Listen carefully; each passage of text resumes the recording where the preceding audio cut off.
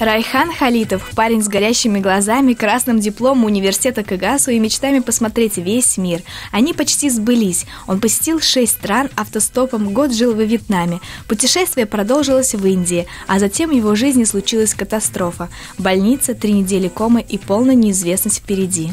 Я счастливый. Я остался тем же самым собой, которым я был раньше. Единственное, некоторые неудобства в плане вот неработающей руки друзья и знакомые, и незнакомые, причем самое прикольное, приезжают, такие типа удивляются, ой, слушай, с тобой такое случилось, а ты, ну, ты все сидишь, улыбаешься, как будто ничего не было. И говорю, а смысл мне сидеть ныть-то? Толку.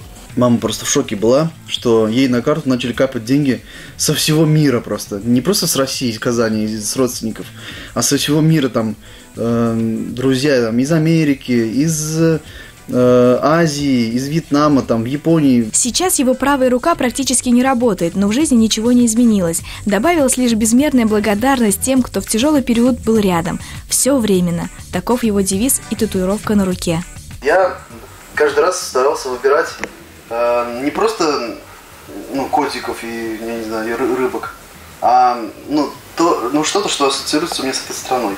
Наш герой открыт к общению, ведет свой travel-блог, который можно найти по хэштегу в социальных сетях «Чё как там». Любит монтировать видео, пишет песни, встречается с друзьями, играет на гитаре, если кто-то рядом ее держит. Преподает английский, во всем ищет плюсы и радуется каждому новому дню.